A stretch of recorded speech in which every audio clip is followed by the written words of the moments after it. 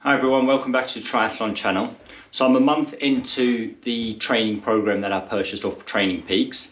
For those of you that have missed it, I've decided to buy a training program directly from Training Peaks. So I think I've gone with, well I say I think, I know I've gone with Phil Mosley's training program from Training Peaks.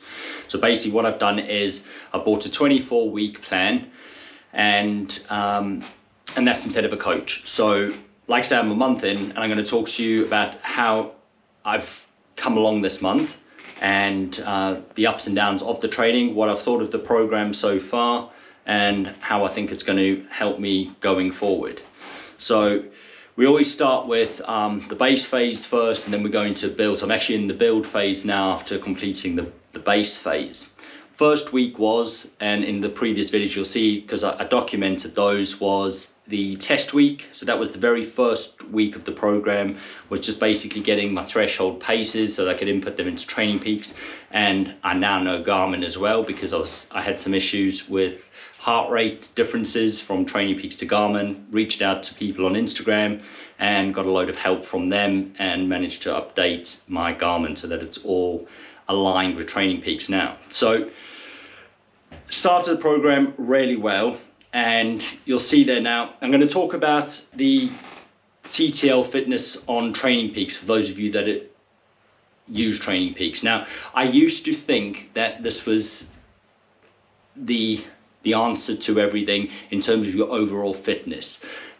I watched a video when I very first got into triathlon and I can't remember who it was, but basically what he said was if you were, get, were to get up to 100 on your fitness, you basically would do a sub 10 Ironman. And there was a whole sort of video on how he worked that out and, and what it all meant. But what I've realized over the years was I was always chasing that magic 100 and I never ever got to it. And I, I, see other people, they get to it quite easily. But then what I've done is I've watched a lot of other videos since then and most recently, and if you follow Joe Skipper, he mentioned it as well.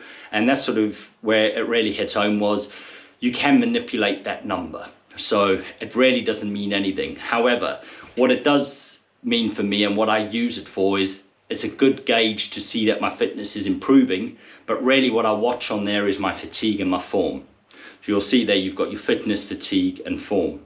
Now for me, I really focus on the form and fatigue because ultimately I don't want to be overtraining and, and cause an injury. So that's what I, I monitor. But it's also nice to see that the fitness is going up.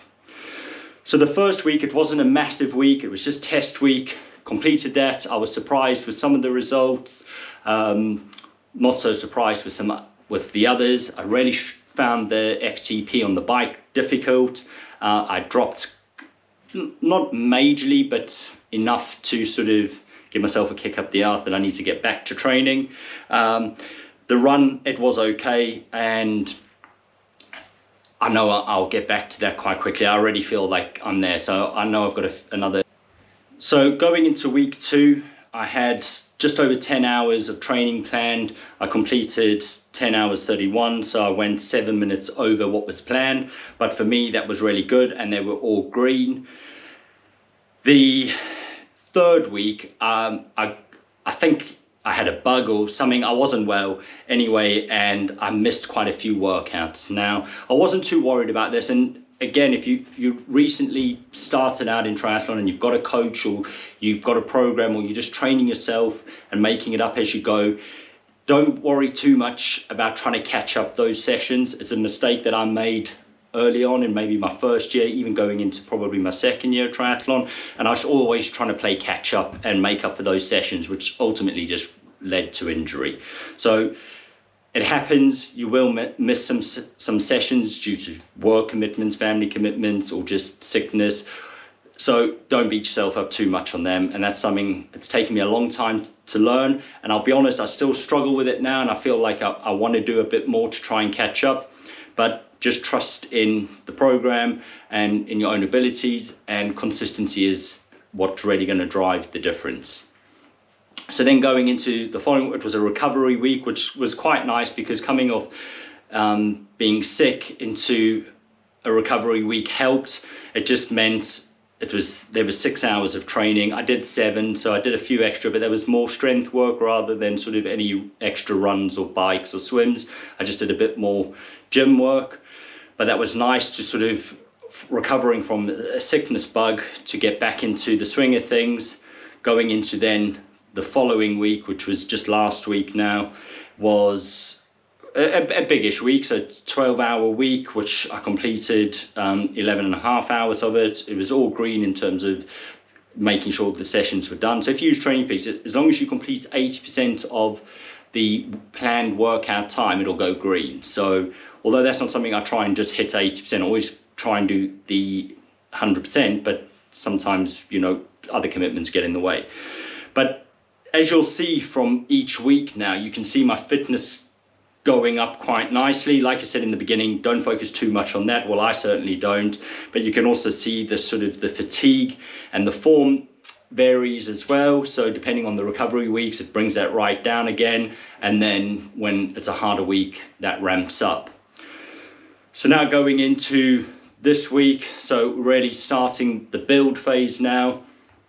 It's Monday, and this is when the, the, the video has been recorded. So Monday, the 3rd of January, I'm starting the build phase, I've done one of two workouts today, so I've, I've got to do a swim later. Uh, I've done a speed workout on the run, and this week is relatively tough as well. So now we're going back into the 12 or over 12 hours of training. So it's ramping up quite nicely. Next week it'll go up to 12 and a half hours and it just keeps um, going up slowly. I will have a recovery week in there as well. But eventually, towards the end of January, we're going to be hitting just over 13 hour weeks, slowly again building up to 14 hour um, weeks as well. So that's the plan. So, what have I thought of the program so far? It's it seems to be going really well. Uh, I've got a lot of experience in managing my injuries. Um, well, I think anyway. So you know, I'm listening to my body a lot more now. But the, the overall program, it, it's not significantly different to any other program I've done with a coach. Uh, the workouts obviously vary, but you know, it's it's always seems to be it's three swims, uh, three runs, and four bikes. I'm, it seems on this program, which is very different to any other, where on a Saturday I normally do a big ride, uh, which is the same as on this one, but then on the Sunday I seem to be doing sort of when I say medium ride, it's an hour and a half to two hour on the bike and then going straight off to a run. So I've got brick sessions really early on, which I haven't been used to in um, other programs, sort of closer to, to the race, we'll start doing them.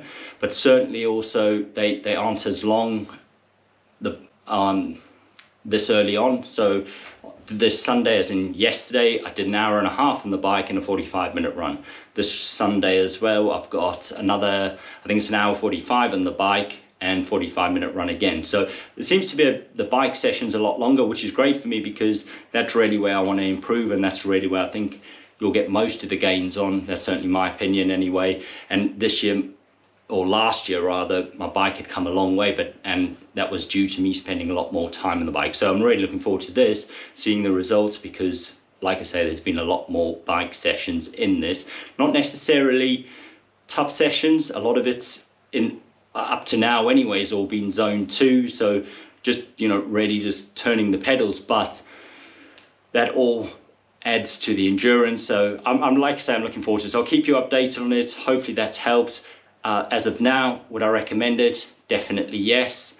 And like I said in the very beginning, when I decided to do to do this, not in the beginning of this video, another video was, you know, financially this is a lot cheaper than having a coach. What this 24 week program cost me was less than what a month with a coach would cost me. So only time would tell. The first race is in May, so we're not that far away, and hopefully uh, I'll be able to give you a comparison of what that looked like because I've done this race before. So it's Outlaw Nottingham. I did it uh, last year. This will be the second year I'm doing it. So same course, different um, training program, uh, and we'll, we'll be able to see like for like. Thanks for watching. I'll see you at the next video.